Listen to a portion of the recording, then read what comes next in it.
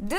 堀口ミイナです。本日のゲストご紹介します。シリコンバレーでご活躍中のエンジニアでこちらの本ファクトフルネスの共訳者でいらっしゃいます上杉周作さんです。よろしくお願いします。よろしくお願いします。世界中で100万部を突破した大ベストセラーファクトフルネス。スウェーデン人の医師ハンス・ロスリングさんとその家族によって書かれました人々がいかに普段から思い込みで世界を見ているか。データを正しく見るスキルを身につければ新たな希望を見出すことができると書かれています。発売当初から世界中に衝撃を与えたこのファクトフルネス。分断本能というものでこれを日本語版として翻訳したのが今回のゲスト上杉修作さんです。実は上杉さん普段はアメリカシリコンバレーで働く現役のエンジニア。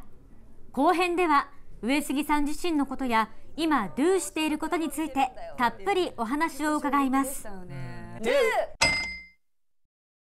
上杉さんはどんなきっかけでこの本を訳そうというふうになったんですか？そうですね。あのこの本を、えー、書いたハンスさんハンス・ロスリングさんが、はい、えー、TED というあの講演会でプレゼンテーションをやっていて、うん、でその動画が無料で公開されていまして、はい、でその動画を見てあこの動画素晴らしいなと SNS でシェアしたところ、えー、僕の友人の翻訳者の関さんですねこの本の協約してくださった方が一緒にこの本を訳しませんかという、うん。メッセージをくださって、はい、でそれがきっかけで翻訳をすることになりました。はい、いやもう本当に勉強になる本なんですが、はい、その本の協約者でもあるちょっと上杉さんについてもいろいろお伺いしていきたいんですけれども、実は3年前にとある番組でご一緒してからの知り合いなんですけど、ね、今日は久しぶりに会いました。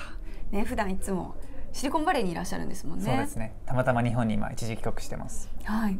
普段はシリコンバレーでエンジニアとしてどのような仕事されてるんですか？そうですね。シリコンバレーのスタートアップ相手にフリーランスでプログラマーの仕事をしていますね、はあ、去年1年はこの本の翻訳がありましたので、はいあの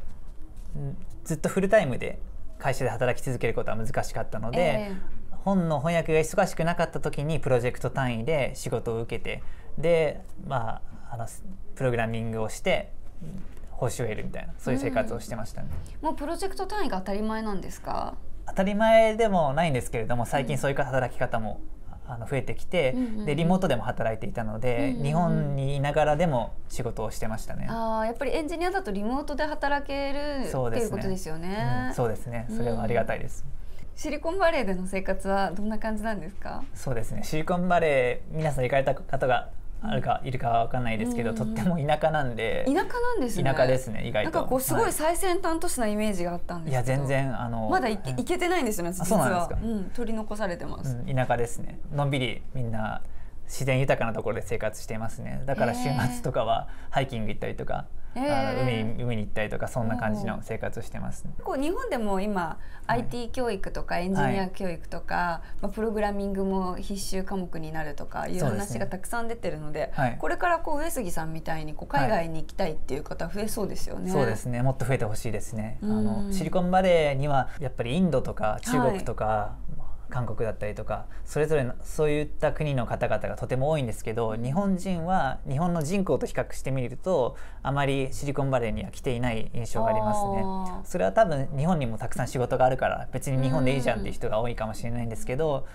IT 業界にいるんだったらシリコンバレーはとても世界最先端でもあるので楽しいし、あの自分の腕を試す機会にもなるんじゃないですかね。なんかこうダイバーシティというかいろんな国の人が集まってるのも楽しそうですよね。そうですね。野球とかで例えるとメジャーリーグみたいな感じで世界各国からそこを目指してくるみたいな、サッカーでいうとヨーロッパのリーグみたいな感じですね。面白そう。上杉さんの自分の人生を変えた本や映画ってありますか？はい、そうですね。本で言うとちょっと持ってきたんですけど、はい、あの僕はですね、あのこちらの本ですかね。はい。日本語作文術という本なんですけども、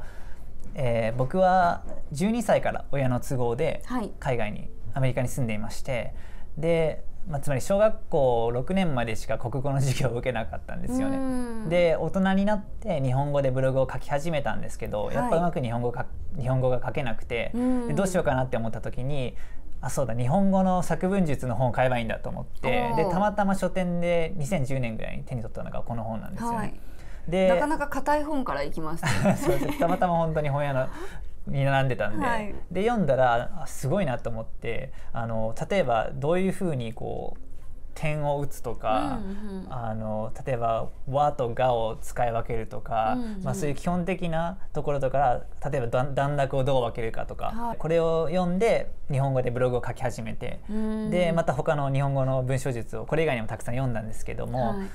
それ読んでブログを書いてで、まあ、文章力がちょっとアップしてで今回翻訳のあのオファーをもらうことまでできたので。美しい日本語でついにね、ね。はい、すっごい読みやすいんですよこのファクトフルネスの日本語が。こうよくありがちなあの無理やり訳しましたみたいなあの分かりにくい和訳の本にはなってなくって本当にさらさらさらって読める感じで、そうですね、うん、確かに翻訳書は読みにくい本がね多いというふうに言われてますし、うん、僕も英語を一応ネイティブに近く読めるので英語と日本語あったら英語で読んでるんですよね。でもそんな僕でもこう日本語読みたいな日本語で読みたいなと思わせるぐらいのレベルに書くことができたかなと思ってます。であの最近自分の中で気になったニュースとかってありますか、はい、こうやっぱり世界をご覧になってると思うんですけど。あの僕は日本のコンテンツとかの海外進出がとても、はい、あの気になっていて、うんうんうん、日本のアニメとかもよく見るんですけどアメリカでも例えば「進撃の巨人」だったりとか、そういうアニメは放映されていてとても人気で、はい、まあ、日本のコンテンツ産業の海外進出にとても興味があって、はい、でその中で最近一つ興味があったのが最近ジャニーズのニュースをとてもあの追っていてジャニーズですか？そうですね。付き合ってる女性がジャニオタでで、まあ、ジャニーズのことについていろいろ僕も勉強してるんですけど、はい、あのタッキーが新しく会社を立ち上げたってニュースがあってでそれでジャニーズのあのグループをもっと海外で展開したいというふうなことを、おっしゃっていて、おっしゃっていて、はい。あの韓国のねグループとかやっぱ世界でとても活躍してるじゃないですか、アイドルグループとか、うんうん、でそれに比べると日本のアイドルグループは、なかなかまだ海外で活躍できてないので。防弾少年がヒットチャートでいつもランクインしているのに、ね。はい、そうですね。で日本のあのアイドルグループにはまだまだ、うん、あの可能性があると思っているので、うんうん、そのジャニーズも海外進出頑張ってほしいなと思いますね。どうすれば受けるようになると思いますか？わかんない。僕はちょっとわかんないですけどあの今ジャニーズが YouTube とかでも頑張っていて、はい、なんでそういういろんなテレビだけじゃなくさまざまな場面で活動されたら海外の認知も高まるんじゃないかなと思って期待してます。SNS とかもどんどん解禁してほしいなと思いますね。ジャニオタの彼女のためにも。そうですね,、はい、ね幸せが増えますよね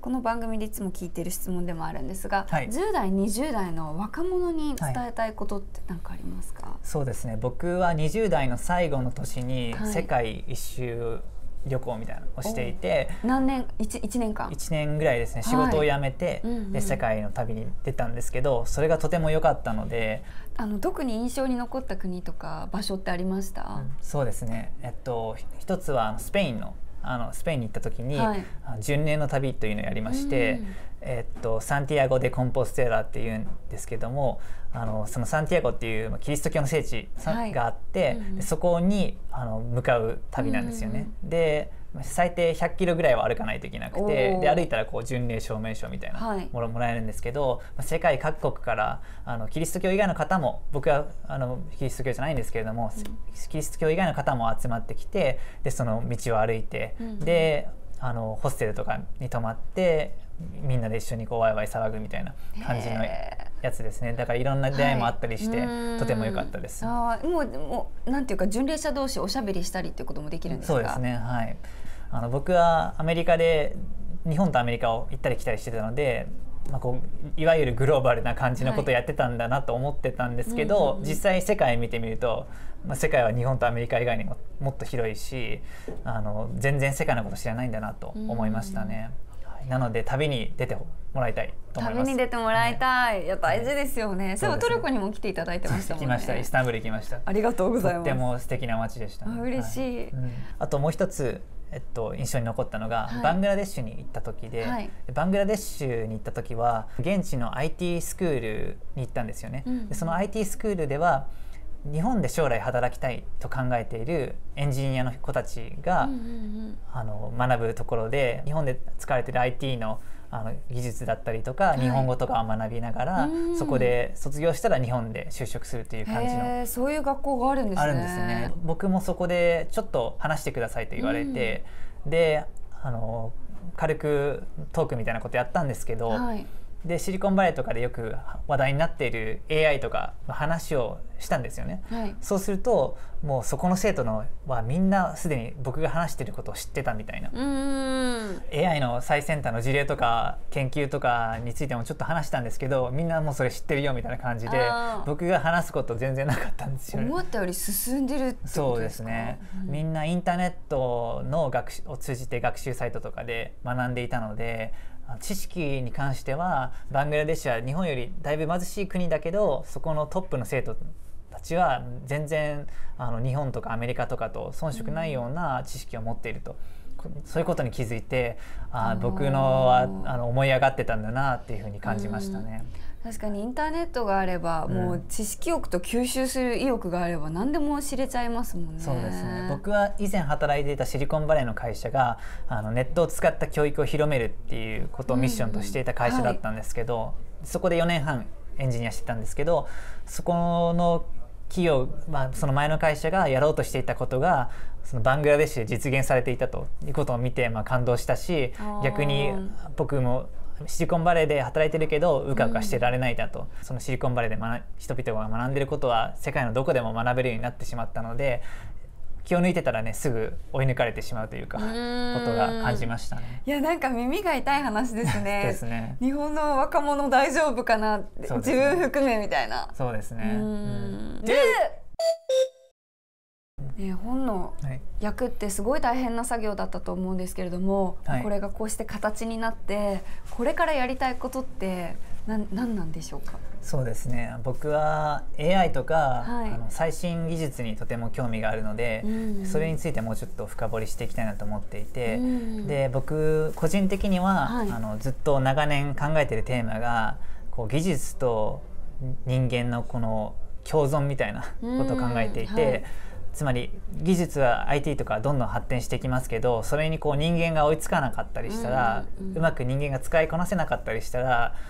世界は良くならないと僕は考えているので、うん、最新技術と人々が共存できるかっていうのをとても考えていて、うん、そのうちの一つに、はい、えっと、AI のことを人々があまり理解していないっていう問題が僕はあると思っていて、例えば AI がこうあのこの画像の中に映ってる動物を判別したりとか囲碁とかでプロ棋士に勝てたりとか、えー、そういうのとかどんどんニュースになってくるけど、うん、AI の活躍みたいな、ね、そうですねでも実際にそれがなんでそういうそういうふうに AI がそんな強いのかとかあのほとんどの人は中身が分かんないじゃないですか。そうするとまあ、これから例えば AI が自動運転やったりとかするようになってくるとあの AI に対してこう怖いなって思うふうに思う方が増えてくるかもしれないと思うんですよね。でそれを防ぐために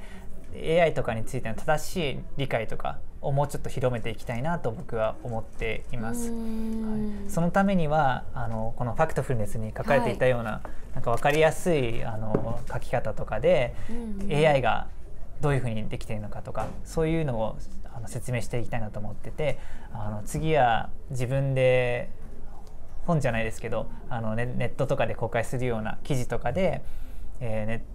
ね、AI がどういうふうにできてるのかとかそういうのを説明していきたいなとか思ってますね。なんかこんなふうに図とかビジュアルとかで分かるものがあったらすごいありがたいですけどね。そうですね。なんかこうディープラーニングとか機械学習とか、はい、こういろんな用語出てきてるんですけど、はい、実際の仕組みどうなってるのかってやっぱり、ね、なかなか読んでも分かりづらかったりするのでそうですね。なんかこんなふうに図とかビジュアルとかで分かるものがあったらすごいありがたいですけどね。そうですね。この本がファクトフルネスが素晴らしいなと思うのは、うん、まあ、統計学ですよね。統計とかデータっていうちょっととっつきづらいというか、はいそうね、なかなか普通の人が読みたいなって思わないようなトピックをまあ、とても分かりやすく誰にでも読めるような言葉で表現されていたのがベストセラーになった理由の一つかなと思ってるので、はい、僕もそれを今度はあの世界の事実じゃなくて、まあ、AI とか最新技術を誰にでも分かるような言葉とか、まあ、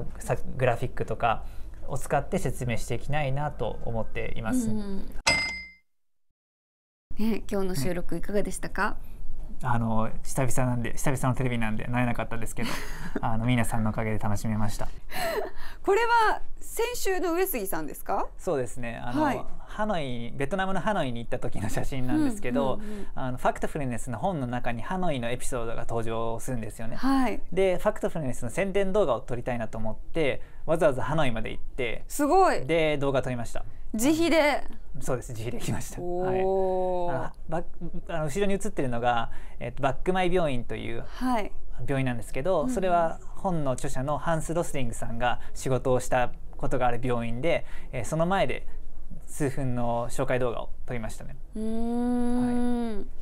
もうあれですよね。訳すのみならず本の PR がすごいですよね。そうですね。ロケをする役者はあんまりいないんじゃないかなと。役者翻訳者です。翻訳者、いないかなと思って、うん、まあインパクト あるかなと思って。ありますよ。私これしかも見ました、はい、ありがとうございます。フェイスブックで。ありがとうございます、いやどうでしたベトナムハノイ？ベトナムは2回目でホーチミンと2枚行ったことがあって、うんうん、ハノイに今回行ったんですけど、はい、まあ、もちろんとても発展していたし、あの人々は結構豊かな暮らしをしていましたね。はい、なんでやっぱりあの世界分断されてないと思いました、えー、実際見てみないとね自分のイメージも変わんないですしね、ね、おしゃれなカフェがすごいたくさんあって、カフェ文化がベトナムとてもフランスの統治時代からあって、えー、でカフェを巡りながら仕事しながらのんびりしてましたね、えー、ベトナムカフェ巡りしたい、はい、でもその前にまず皆さんファクトフルネスを読んでくださいね。お願いします。上杉さん今日はありがとうございました。ありがとうございました